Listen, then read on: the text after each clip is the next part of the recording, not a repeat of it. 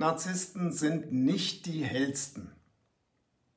In Sachen Mitgefühl, Liebe und emotionaler Intelligenz sind Narzissten nicht die hellsten Kerzen auf der Torte. Das ist ja bekannt. Sagst du zu einem Narzissten nach der Lovebombing-Phase beispielsweise die drei magischen Worte, dann wird er antworten, ja, ich mich auch. Und sieht deine Liebesbotschaft als Anreiz, dich noch weiter auszunutzen.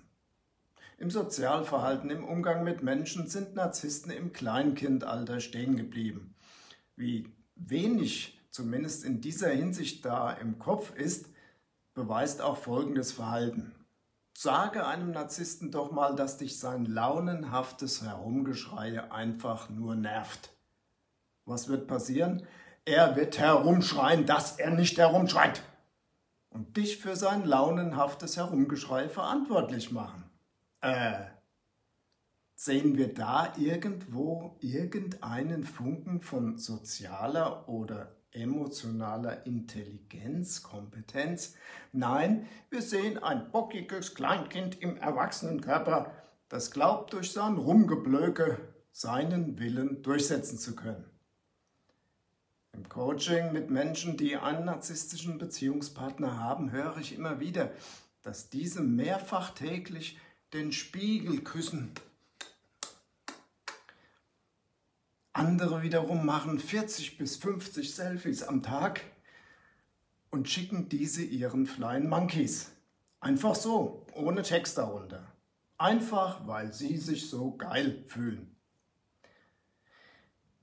In diesem Video wollen wir darüber sprechen, warum Selbstverliebtheit nichts mit Selbstliebe zu tun hat und warum das genau auf Narzissten zutrifft, ebenso wie deren Inkompetenz im menschlichen Umgang miteinander. Wenn dir das Video gefällt, dann bitte ich dich mit einem Like oder Abo um Unterstützung dieses Kanals. Meinen Teammitgliedern danke ich besonders für deren Support. Dankeschön. Narzissten können nur auf zwei Arten ihr Leben gestalten und sich nach außen präsentieren. Beide sind gefaked, ebenso wie ihr fragiles Ego.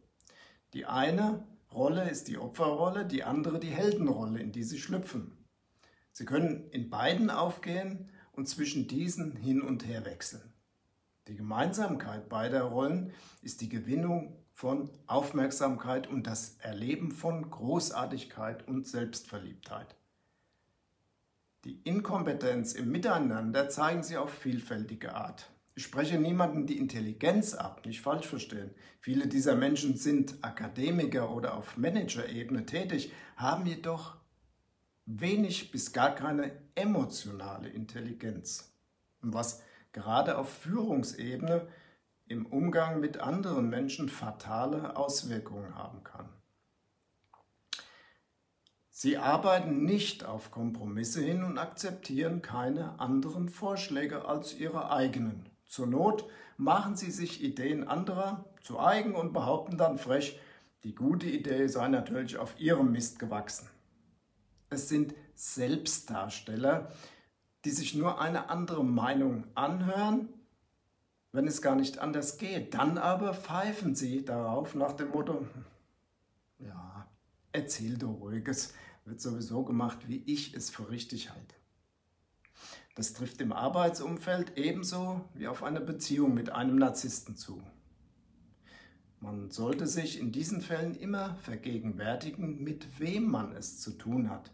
Ein Narzisst ist ein Mensch, dem nichts daran liegt, wertschätzend und respektvoll mit anderen umzugehen, sondern nur seine eigenen Bedürfnisse, seinen Willen durchzusetzen. Diese Menschen wuchsen meist als benachteiligte, liebesentwöhnte Kinder auf.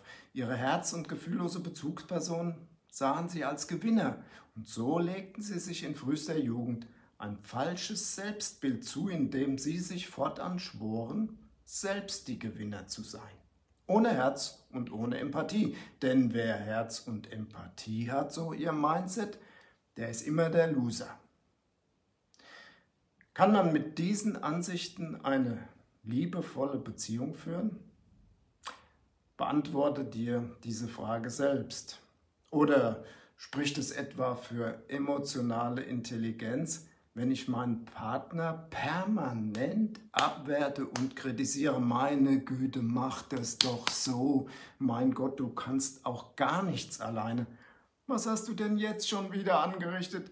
Kein Wunder, dass du im Job nicht weiterkommst. Ich meine, nach permanenter Abwertung und Kritik dann noch darauf hoffen, jemand für irgendetwas zu motivieren, ist schon ziemlich blöd, oder? Aber ein Lob, das motivierend wirken würde im Job und in der Beziehung, das wird man von einem Narzissten kaum erhalten. Viel zu groß wäre dessen Angst, sich selbst damit abzuwerten. Denn ein Lob hat, wenn überhaupt, nur ein Narzisst verdient. Klar will er mit Kritik und Abwertung etwas erreichen, den Selbstwert anderer zerstören nämlich. Das mag ihm wiederum kurzfristig helfen, langfristig aber machen sich Narzissten damit keine Freunde. Und so ist das Umfeld eines Narzissten meist ziemlich kaputt. Zahllose, zerstörte Beziehungen, zerbrochene, oberflächliche Freundschaften. Narzissten fahren mit einer Dampfwalze über die Gefühlswelt anderer. Und eine weitere emotionale Dampfwalze neben der permanenten Kritik sind deren Launen und Wutausbrüche. Und danach glauben sie, alles müsse wieder in schönster Ordnung sein. Aber natürlich erst dann, wenn sie dem Partner oder Arbeitskollegen die Schuld für ihren Wutausbruch gegeben haben.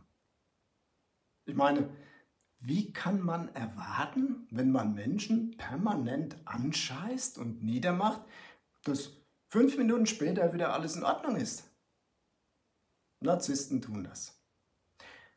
Auch das wieder ein Beispiel dafür, dass sie zumindest im menschlichen Umgang miteinander, miteinander nicht die hellsten Kerzen auf der Torte sind. Aber wie sagt es ein dänisches Sprichwort? Leere Töpfe machen den meisten Lärm. Wenn ich es nicht besser wüsste, würde ich sagen, das wurde extra für Narzissten gemacht. Eine Sache, wie sie Beziehungen vollumfänglich versauen und an die Wand fahren, sie gehen gerne fremd und geben dem Partner die Schuld dafür. Ich denke, man muss nicht näher darauf eingehen. Oder wenn man sich anschaut, wie sie sich, wenn sie es überhaupt tun, dafür entschuldigen. Du bist fremdgegangen. Wenn du das so siehst, für mich war das kein Fremdgehen, es hat ja überhaupt nichts mit Liebe zu tun. Stimmt, da der Narzisst wiederum recht. Es hat nie etwas mit Liebe zu tun, denn er kann ja nicht lieben, wie man weiß. Was auch ganz toll bei dem Beziehungspartner ankommt, jedenfalls scheinen Narzissten das zu glauben, wenn sie ihren Partnern und Freunden deren Fest oder Veranstaltung versauen oder eine Sekunde vorher absagen. Sie können es einfach nicht haben, dass irgendwer anderes gefeiert wird als sie und sie quasi dazu verdammt sind, daneben zu stehen und zuzuschauen. Emotionale Intelligenz? Null. Was auch immer sie tun, die Selbstverliebtheit dieser Menschen führt sie meist in eine Lebenskrise, denn es gibt keinerlei gesunde Entwicklung in ihrem aus Gift und Galle bestehenden Leben. Sie drehen ihre Runden um Runden in ihrem toxischen Hamsterrad, ein Zyklus, der beständig von immer neuen Zufuhrquellen Bewunderung von außen einfordert. Eine ihrer größten Schwachpunkte übrigens, denn bleibt diese aus, so führt sie das zum Absturz. Nicht wenige haben dann Alkoholprobleme oder entwickeln daraufhin schwere Depressionen. Und je mehr Menschen deren toxisches Spiel erkennen, desto einsamer werden sie. Bald will niemand mehr mit ihnen etwas zu tun haben. Und spätestens dann werden sie mit ihren Ängsten, Schuld- und Schamgefühlen so richtig konfrontiert. Glaube mir, da musst und willst du nicht dabei sein, Gut, dass du aus diesem toxischen Hamsterrad aussteigen kannst. Ein Narzisst kann das nicht und dreht seine Runden, seine giftigen Runden bis zum Ende. Wenn dir das Video gefallen hat, dann würde ich mich über ein Like und Abo freuen. Alles Gute auf deiner Reise durchs Leben.